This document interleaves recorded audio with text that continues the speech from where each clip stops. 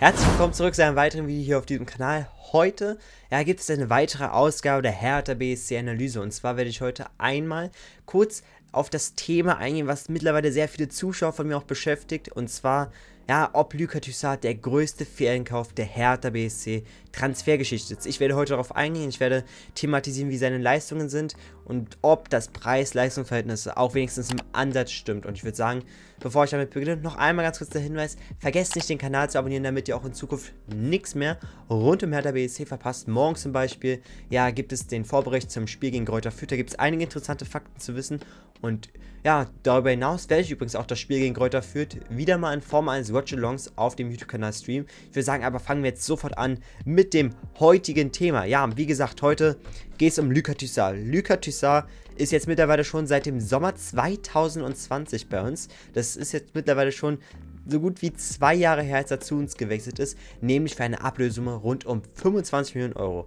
Er wurde dann, als wir ihn im Winter verpflichtet haben, wurde er dann nochmal zurück zu Olympique Lyon verliehen, um damit er dort noch seine Champions League Saison zu Ende spielen kann. Grundsätzlich kann man eben sagen, dass der Wechsel von Olympique Lyon zu Hertha BSC für ihn ein ganz klarer Rückschritt in der Karriere war jetzt von einem stabilen, ruhigen Verein, der öfters mal in die Champions League oder in die Europa League kommt, zu einem Verein gewechselt, bei dem das Umfeld absolut instabil ist, bei dem, ja, sage ich mal, es ständig zu Trainerwechseln kommt, bei dem natürlich aber auch sämtliche finanzielle Lagen einfach nicht geklärt sind. Und Lucas Toussaint hat sich uns angeschlossen, auch natürlich mit dem Hintergedanken, so hat er sich mal in einem Interview geäußert, näher an der französischen Nationalmannschaft dran zu sein. Und grundsätzlich erkennt man halt hier eben auch, dass ja, dieser Wechsel nicht zielführend war. Seine Entwicklung ist nicht vorangeschritten, ganz im Gegenteil, er hat sich sogar ganz klar zurückentwickelt und er schafft es nicht mal jetzt, mittlerweile bei Hertha BSC, einem Verein im unteren Drittel der Bundesliga, ja, gegebenenfalls starke Leistungen zu liefern.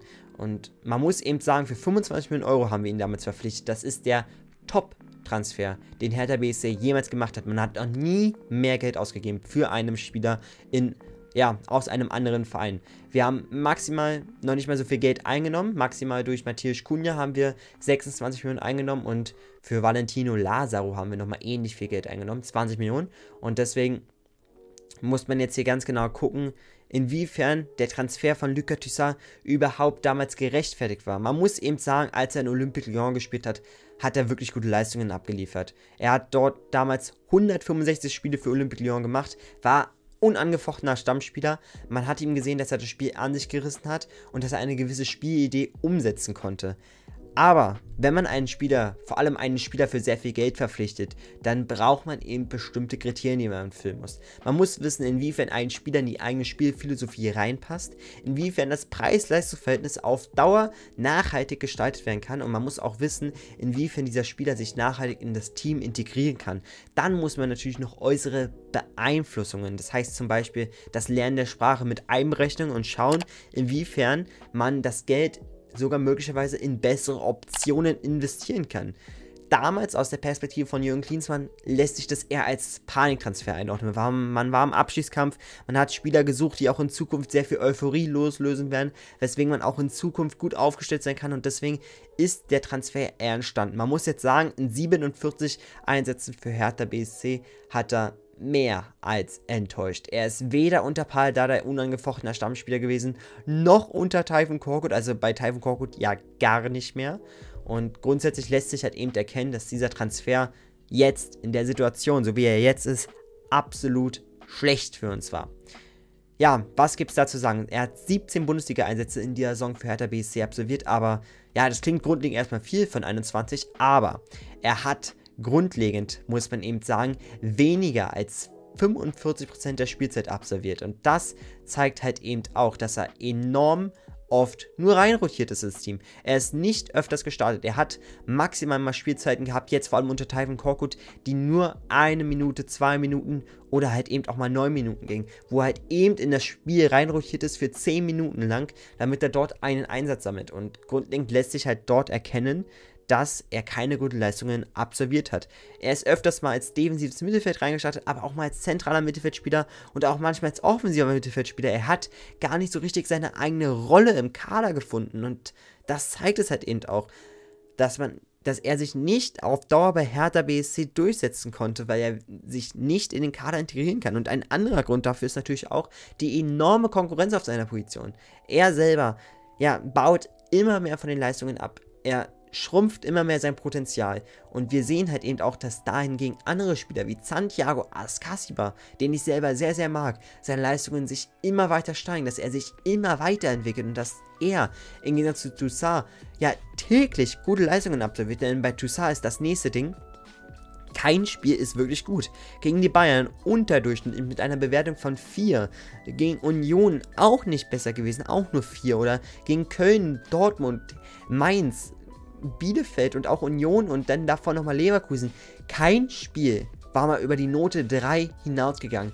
Kein Spiel hat er an sich gerissen. Kein Spiel hat er ein wirklich gutes Spiel absolviert. Er war meistens immer nur so dabei. Grundsätzlich muss man sagen, er berührt pro Spiel grundsätzlich rund 27 Mal den Ball und macht grundsätzlich 77, eine 77-prozentige Passquote.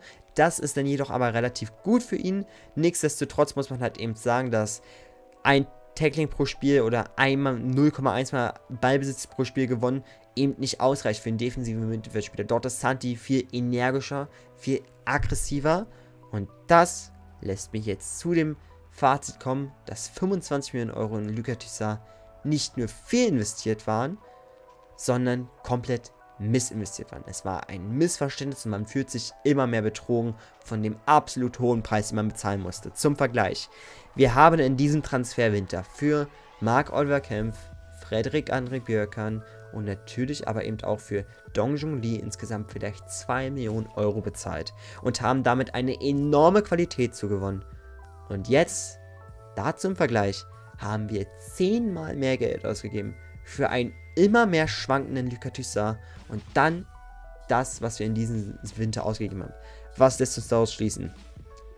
Ein Verein braucht eine strukturierte und natürlich eben auch eine wirtschaftliche, sparsame Transfermethode, die mit Scouts und natürlich auch mit einem gewissen Kaderplaner, so wie er momentan vorhanden ist, einen Kader aufbaut, der den Hertha, der Hertha BSC wirtschaftlich auf Dauer stärkt und das ist wichtig und das müssen wir in den nächsten Wochen wieder angreifen und das müssen wir auch im Sommer weiterführen. Die Taktik, wenig Geld ausgeben, damit wir mehr sparen können und viel Geld ausgeben für Spieler, die wir auch wirklich brauchen. Lucas Tissot gehört nicht dazu. Ja, was lässt sich grundsätzlich noch dazu sagen? Lucas Tissot ist natürlich auch der Spieler, der im Gehaltsgefüge ganz, ganz oben steht. Und das wird wahrscheinlich ein Grund sein, warum man ihn im Sommer abgeben möchte. Ja, an dieser Stelle würde ich das Video beenden. Ich hoffe, es hat euch gefallen.